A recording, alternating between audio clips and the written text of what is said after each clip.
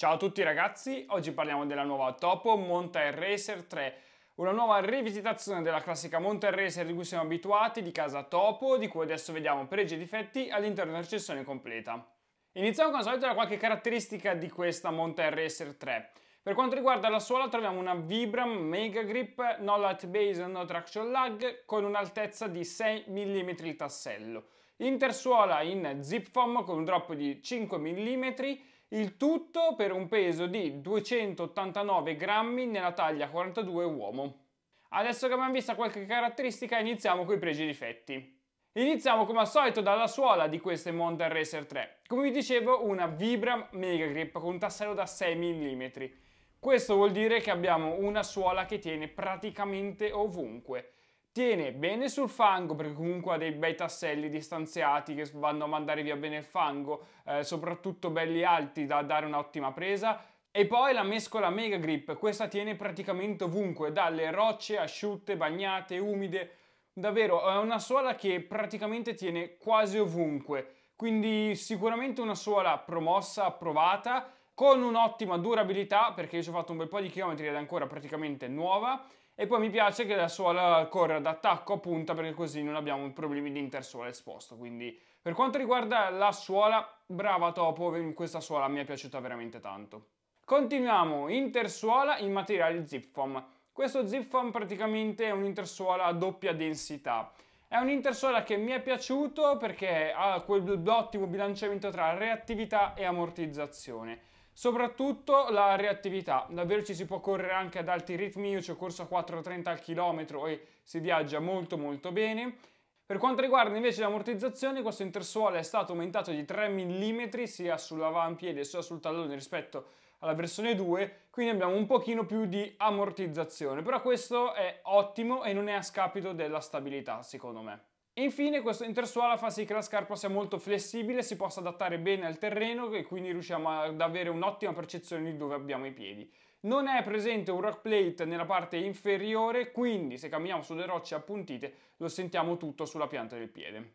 Passiamo alla tomaia iniziando dal puntale, qui troviamo un puntale abbastanza rigido, roba che se ci prendete dentro in qualche sasso radice non, se non sentirete male, non vi farete male. Per quanto riguarda la tomaia è stata cambiata rispetto alla versione 2, questa è molto più traspirante. Io l'ho trovata veramente estremamente traspirante, per intenderci se la bagnate si asciuga veramente in pochi minuti, quindi tomaia veramente molto molto traspirante. Mi ha convinto un pochino meno la durabilità, perché correndoci anche su roccia vi assicuro che ho qualche buchino piccolino per il momento eh, per quanto riguarda la tomaia. Mi piacerebbe sapere poi da voi se è stato un caso sulla mia modello che si è un attimo forata o anche voi avete trovato che la tomaia è un pochino sottile e un pochino poco duratura. Fatemelo sapere qua sotto nei commenti. Noi continuiamo, poi la tomaia mi piace perché corre da punta a tacco, quindi una tomaia che davvero traspira molto molto bene e visto che ne parlavamo tallone, tallone abbastanza riprogettato, ridisegnato, un tallone che mi è piaciuto, molto confortevole, che avvolge molto molto bene il piede, soprattutto un tallone che insieme all'intersuola fa sì che questa scarpa sia veramente super stabile.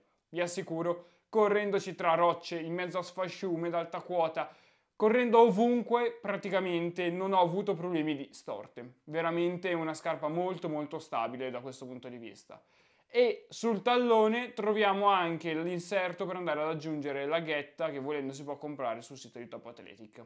Per quanto riguarda invece la parte superiore dell'imbottitura troviamo un'imbottitura abbastanza minimalista, mi immaginavo qualcosina di più. È comunque un'imbottitura che si sente e svolge ottimamente il proprio lavoro, però come vi dicevo è abbastanza ridotta, davvero mi immaginavo qualcosa di più. Parlando invece di linguette e lacci, beh, eh, qua nulla da dire, una linguetta molto classica, lacci molto classici. I lacci una volta stretti fanno sì che si abbia comunque un'ottima fasciatura del piede e il piede all'interno non si muove, quindi eh, devo dire comunque un comparto lacci linguetta abbastanza classico. Per quanto riguarda la soletta, questa è di casa Ortolite. Io con le solette Ortolite mi ci trovo sempre bene, confermo che anche su questa mi sono trovato bene è estraibile, ma io andrei avanti tranquillamente a utilizzarla.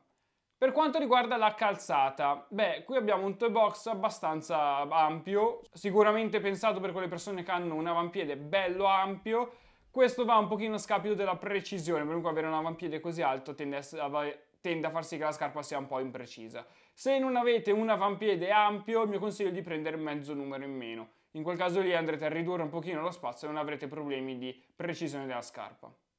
Su che terreno vi consiglio di utilizzare queste Mountain Racer 3? Come vi dicevo, tutti i terreni, davvero. È perfetta dalle strade di fondovalle ai sentieri d'alta quota.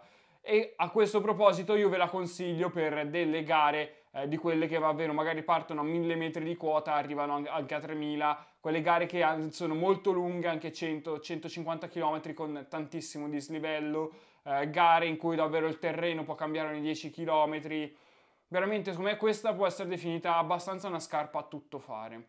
E perché persone la consiglio? Perché tipo di atleta, secondo me, un po' tutti. Alla fine il peso ci sta, sono su 290 grammi, può essere utilizzata sia da una persona che è alle prime armi, che magari cammina tanto, sia a chi invece ha magari una buona tecnica di corsa, corre veloce e gli piace avere una scarpa bella reattiva.